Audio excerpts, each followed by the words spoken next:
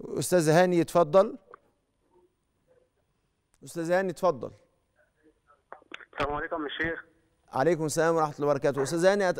يعني أتمنى على حضرتك إن توطي التلفزيون وتسمعني من التليفون لو تكرمت. أنا والله يا فندم أنا في أوضة ثانية بعيد عن التلفزيون خالص. طيب؟ اتفضل. اتفضل يا أستاذ هاني. ازي حضرتك يا عم الشيخ. نعم وفضل الحمد كل لله. عام وأنت بخير ويجعلك يا رب كده سند لينا وإن أنت تنور لنا طريقنا يا رب أنا يا رب ربنا يبارك لكم ويفتح حضرتك عليكم أنا كنت أنا راجل متزوج وعندي ولدين. نعم. تمام؟ بقالي تسع سنين متجوز. يعني داخل في السنة العاشرة.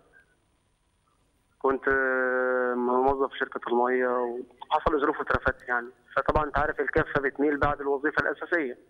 طيب. يعني كحاله أي شاب في البلد. جات لي ظروف فترة قعدت فترة كبيرة. أنت عارف إن الفترة ما بعد الثورة وتشتت البلد. أنت حضرتك طبعا ولدنا وفاهم. طيب. فطبعا جيت كنت مقصر في حق بيتي الأول. طيب. فجيت بعد كده حضرتك ابتديت اتعدل وابتديت أشوف حالي على قد ما أقدر. أنا راجل شغال باليومية. طيب. تمام يا عم الشيخ آه سامع حضرتك كويس. هي حضرتك ممتنعة انها تديني حق الشرعي؟ طيب. عاملة معايا مشاكل؟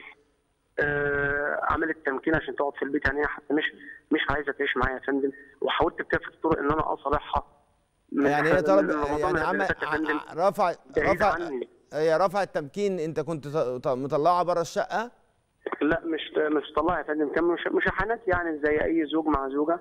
فهي فهي فهي غضبت في بيت أهلها؟ آه ده, ده عملت تمكين وهي معايا يا فندم في البيت. أنا فوجئت.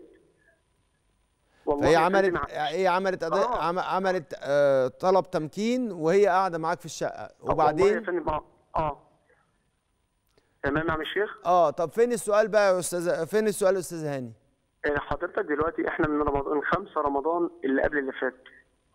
ما خلاص أنا فهمت أنا فهمت إن هي ممتنعة عن العلاقة آه الخاصة. إحنا إخوات. أنت شايف حضرتك كويس. أنا اعمل معاها إيه؟ آه ده سؤال ده ده. ده, ده سؤال مهم يا أستاذ هاني أنتوا قاعدين مع بعض في نفس الشقة صح؟ آه يا فندم بس أنا قاعد في الشقة اللي تحت مع والدتي لأن أنا يا فندم أنا الشيطان راكبني من ناحيتها. أنا راجل مصلي الحمد لله. والله ما بشوفش فرض ما بدخنش ما هو. برضه أنا ما بقدرش. أفهم إن إزاي الشيطان راكبك وأنت بتصلي فأنا هقول لك حاجة. تعالى بس نتكلم في شوية حاجات. ده اسمه إحنا وصلنا إلى حد التراكمات اللي خلت النفوس زي ما بنقول بالتعبير العام كده النفوس تشيل. إحنا عندنا مصطلح كده في الإرشاد الزواجي اسمه إحنا وصلنا إلى حد الامتلاء الزواجي. هي. امتلأت زواجيا فبقت ما بتقدرش لا تز... هي بتقول لك كده. هتلاقيها بتقول لك كده. أنا ما أقدرش. أسمع صوتك ولا أشم ريحتك ولا أبقى موجودة معاك في نفس المكان مش بتقول لك كده؟ هي آه، قالت لاخواتي كده يا فندم. طيب يبقى خلاص هي وصلت ونزلت ونزلت في العيد اللي فات يا فندم الكبير مش ده اللي قبليه. آه طبعا كان حصل لي اضطرابات نفسية فطبعا كنت آه، جنسيا مش مظبوط. اضطرابات نفسية من لهم- آه، أستاذ راين لحظة بس اضطرابات نفسية من أنهي نوع؟ يعني هل حصل لك اكتئاب؟ حصل لك باي مش حصل لك إيه؟ يعني أنا نفسيتي كانت تعبانة فكانت مقصرة في, في, النواحي البدنية عندي كانت حق زوجة يعني في طيب. البيت والكلام ده قبل ما تمتنع عني عايز أقول لك خلاص. قالت- لأمي قالت لأمي وأختي ده إن هو سيء ما بيعرفش يعني طيب خلاص. أنا أنا. أنا أنا هجاوب على ح- أنا هجاوب هجاوب هجاوب على حضرتك يا أستاذ هاني بص يا أستاذ هاني خلينا بس نكون واضحين وصادقين مع نفسنا شويتين ثلاثة عشان نقدر نحل. إحنا ما بنقدرش في المسائل الزواجية أول خطوة عشان نحل المسائل الزواجية لازم نذكر الناس بقوله تعالى بل الإنسان على نفسه بصير. لازم الإنسان يكون صادق مع نفسه. لأن أي نوع من أنواع الإنكار مش هيفيد في حاجة. هيبقى كل اللي أنا بعمله إن أنا بجيب الغلط على اللي قدامي وقد أكون أنا بصل إلى حد الظلم. طب عشان ما نبقاش ظالمين. وهي كمان طبعا هي واقعة في شيء لو أنها فعلته من غير السبب ولا من غير خوف ولا من إن هي ما بيحصلهاش أي أذى هي كمان واقعة في الظلم لما بتمنع بتمتنع عن العلاقة خاصة. تعالوا بقى نتكلم. إحنا في حالة استثنائية.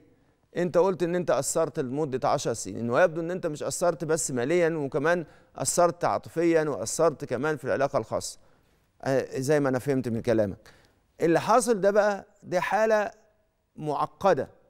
ليه حالة معقدة؟ دخلت فيها عناصر كتير كتيرة. دخل فيها العنصر المالي مع العنصر النفسي مع العنصر الذي يتعلق بالعلاقة الخاصة. العناصر دي لما بتدخل بتخلي الحل المعتاد بإن أنت تروح تصالحها وتقول لها خلاص هنبتدي صفحة جديدة ما بيبقاش نافع قوي هنا ساعتها لازم. لازم نتعامل مع قوله تعالى فاسألوا أهل الذكر إن كنتم لا تعلمون. لازم يبقى في تحليل زواجي دقيق تحليل زواجي دقيق هنوصل إلى إيه؟ الانسدادات اللي حصلت والامتلاء إيه سببه؟ لأن التراكمات دي ليها فلسفة. يعني هي التراكمات اللي عندها ليها فلسفة إن هو أصلا ما بيحبنيش. دي تراكمات. أو إن هو إنسان غير مؤهل للجواز. دي تراكمات بتبقى ليها. فلازم نعرف مسار التراكمات إيه. ودوت مش هيحصل غير لما نسمعكم أنتوا الاثنين فالمسألة محتاجة إن أنت تتفضل مشكورا. وانت في حتة وهي في حتة وده مش ب... ما ينفعش خالص في مسألة الزواجية وده نوع من أنواع تضييع النساء ما تبعدش عنها. لازم أنت وهي تكونوا مكان واحد وأنت اللي تحفظ نفسك. لو كنت أنت سبت الدواء بتاعك اللي أنت كنت بتاخده وأنت بتحاول يحصل عندك علاج نفسي تاخد الدواء وتتعامل معاها بشيء من الرشد. لكن تخليها هي في- مكان وانت في مكان. طب ما طبعا الشيطان هيمشي هيلعب بدماغها وكمان النفس الأمارة هتلعب بدماغها. ده مش مبرر ليها. لكن أنا بوصف لك الحال. إحنا محتاجين بشكل واضح إلى استشارة. محتاجين إلى صوت الحكمة. محتاجين إلى نصيحة. ودوت معناه إن إحنا ببساطة خالص محتاجين إن إحنا نروح لخبير عشان نقدر نخرج من ده. فمرحبا بكم في مركز الإرشاد الزواجي عشان نقدر نتكلم ونقدر نضع الأشياء في نصابها ونقوم بالتحليل الزواجي بشكل صحيح.